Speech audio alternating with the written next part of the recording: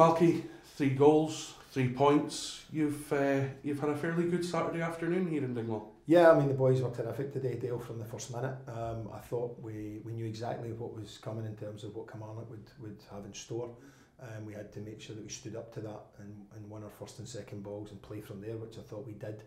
Um, and we did, and that was a good springboard. Um, and I thought we created chances. We actually scored goals today. Um, and could have scored another couple. And I thought we defended well to a man. It's again both boxes. We, we were resilient at one end and we took our chances and were effective at the other end. And between that, I thought we were uh, a real fighting force today and actually, as I say, uh, competed in the way that we need to in this division against anyone.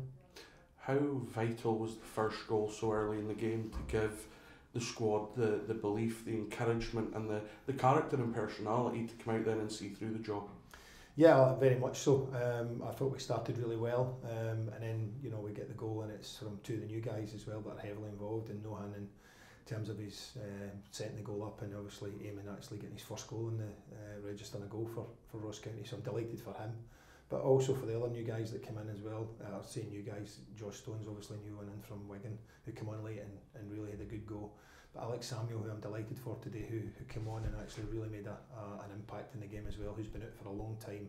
Um, and he's someone that's um, really deserving of a bit of luck. He's, he's a great lad and he's someone who um, has been a, a real cheerleader to this whole group for the last year. Um, and it's not easy when you're, you're injured and you're out for a long time, but he's worked hard, he's got back into it, and he's brought himself, because of his enthusiasm, his energy, and his will to want to be part of something, he's put himself in front of others at the club, and that stands himself in great stead there were points today, Malky, where the, the noise coming from the, the stands was really getting behind the team, really supporting the team, and it's nice to give them something back after what has been a challenging time as well. Yeah, very much so. You know, our fans here have been have been great since the day I arrived, and I think what they've seen is they've seen reasonable football over a period of time.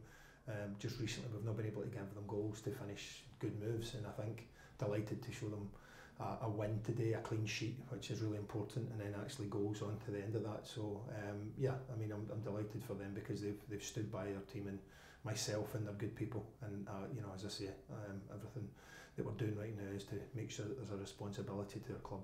Marky, well done.